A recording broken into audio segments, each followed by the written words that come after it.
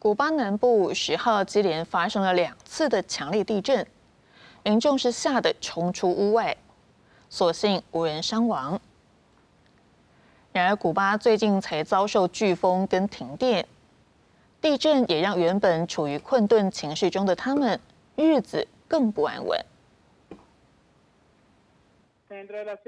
古巴南部接连发生两次地震，许多房屋的围墙砖头掉落，墙壁龟裂，屋顶塌陷，街道上的电线杆也在摇晃，不少民众吓坏，冲出家门。根据法新社报道，美国地质调查所报告指出，两次地震先后间隔一小时，第二次规模六点八，深度二十三点五公里，震央位于古巴东南部格兰马省巴托洛梅马索以南约四十公里的海中，第一次的规模则为五点九，震央也差不多位。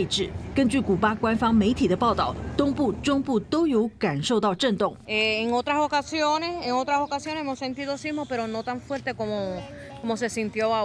地震发生之际，古巴百姓其实还在大停电、飓风重创的困顿中苦苦挣扎。六号，飓风拉斐尔袭击古巴西部，导致国家电力系统中断，摧毁数百栋房屋，数十万人撤离。八号，部分地区恢复供电，但尚未修复的地区的百姓生活依然不便。这个国家十月才遭飓风奥斯卡侵袭，电厂故障停机，全国大停电，当局抢修不顺利，多个地区还爆发小规模抗议。公视新闻黄韵玲编译。